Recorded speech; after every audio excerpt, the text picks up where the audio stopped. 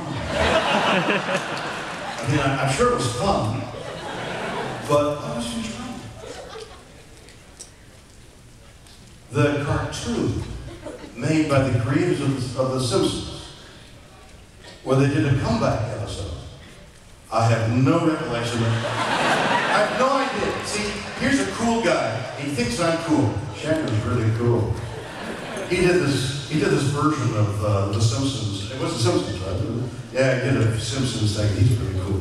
Shatner has no idea what he's talking about. Shatner's really cooler than he thinks. He's so cool he doesn't even know he's cool.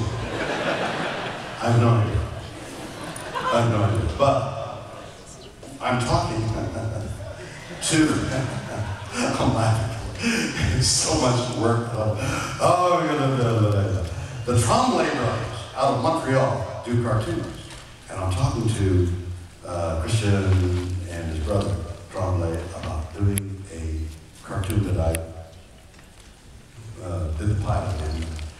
I, have done a cartoon, I've done a one minute version of a, I think would be a, a funny cartoon that we would do out of Montreal. Using uh, French Canadian talent and uh, actors and things like that. And it could be great fun. And we're in the middle of talks could be fun. Uh, that would really be cool. That would be cool. Yes, yeah.